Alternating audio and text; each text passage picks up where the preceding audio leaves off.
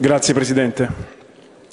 Ministro, lei ha iniziato il discorso omaggiando le vittime, omaggio al quale noi ci siamo uniti, però crediamo che il vero omaggio lo si faccia lavorando seriamente affinché queste cose non accadano più. Lei ha anche detto che questi assassini, questi terroristi sparano nel mucchio, no? Ed è, ed è vero il più delle volte.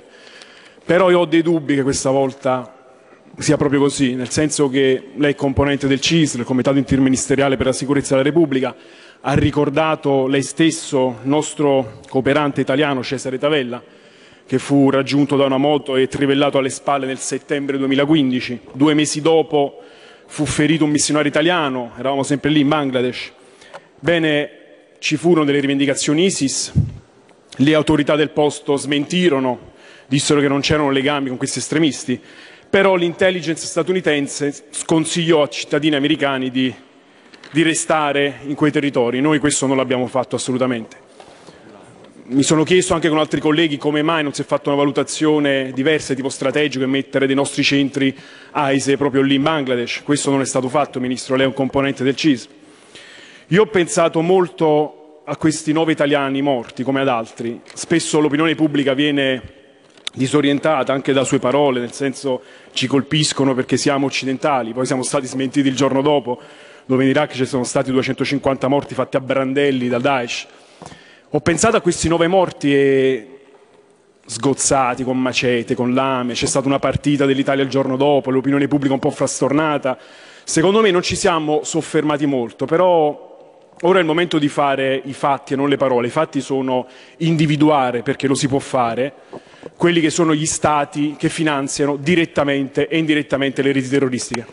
Bisogna avere il coraggio di rimettere in discussione ogni tipo di rapporto commerciale, economico, diplomatico con questi paesi.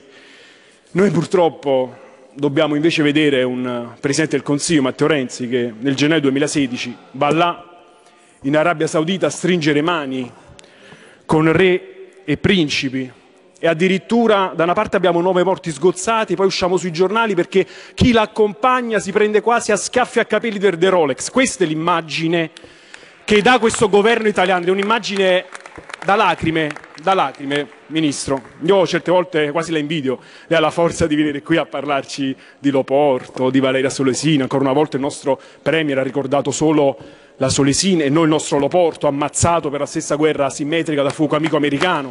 Queste morti ce le scordiamo, ce le scordiamo sempre, davvero non, non capisco il perché. Poi ci troviamo in aula a discutere magari del DL antiterrorismo e siamo tutti d'accordo, siete tutti d'accordo a spartirsi le poltrone tra servizi, intelligence. Colleghi, per favore, per favore. cosa fate? Cosa fate per la lotta al terrorismo? Onorevole Rossi, la richiamo, onorevole Rossi, la richiamo per la prima volta.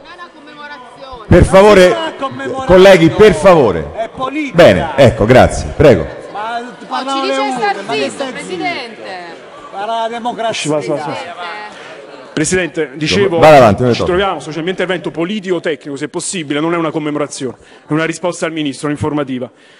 E dicevo, nel DL antiterrorismo poi siamo costretti a subire come soluzione una blacklist che blocca siti, chissà perché, poi qualche mese dopo viene arrestato il mullah Kraker che aveva creato un'università virtuale per un'indagine ROS precedente, oppure aumentiamo le pene, aumentiamo le pene a questi signori che sono pronti a mettersi delle bombe, magari a farsi esplodere la metro. Queste sono, come dire, le idee del nostro governo.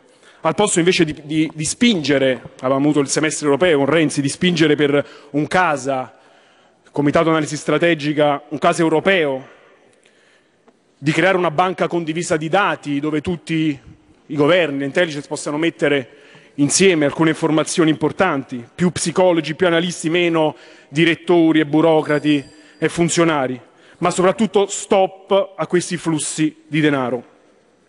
Proprio ieri c'è stato il rapporto Shilcoat uscito in Gran Bretagna che accusa palesemente l'ex leader Tony Blair di aver mentito sulle armi di distruzione di massa in Iraq, di aver dunque causato l'intervento militare che ha distrutto ovviamente l'Iraq dando il via a guerre tra sunniti e sciiti e aver favorito ovviamente la formazione di Daesh dell'ISIS, i cui leader erano detenuti ad Abu Ghraib e in altre prigioni. È inutile ricordare, lo facciamo spesso, il pasticcio fatto in Libia. Si recupero il tempo che mi hanno tolto e concludo, Presidente. L'ho già recuperato, non è, sì. quindi conclude. Uh, è inutile dimenticare cosa abbiamo combinato in Libia ed oggi per trovare dire, un governo di stabilità nazionale siamo costretti a trattare con le milizie. Ministro, bisogna colpire chi arma, chi finanzia a destra questi vigliacchi terroristi. Il governo italiano può farlo da oggi stesso, lo faccia.